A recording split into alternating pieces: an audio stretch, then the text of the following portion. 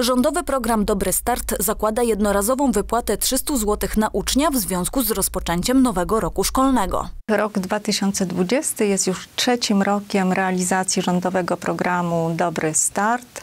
E, jest to program adresowany do rodziców, którzy mają dzieci w wieku szkolnym, e, dzieci do ukończenia 20 roku życia, które się uczą, mają prawo e, do świadczenia w wysokości 300 zł na rozpoczęcie roku szkolnego. Środki te powinny być przeznaczone na zakup niezbędnych przyborów szkolnych, e, tego wszystkiego, co jest potrzebne, aby e, czuć się dobrze w szkole, aby e, dobrze ten rok szkolny rozpocząć.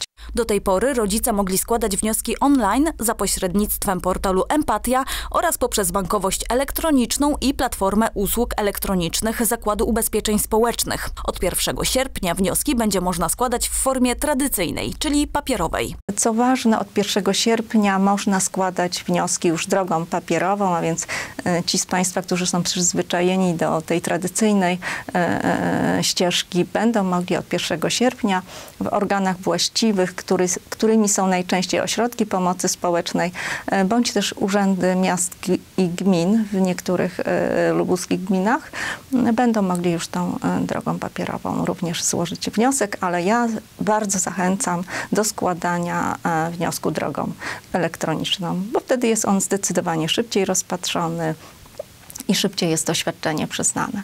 Wnioski, zarówno te składane drogą elektroniczną, jak i tradycyjną, będą przyjmowane do końca listopada.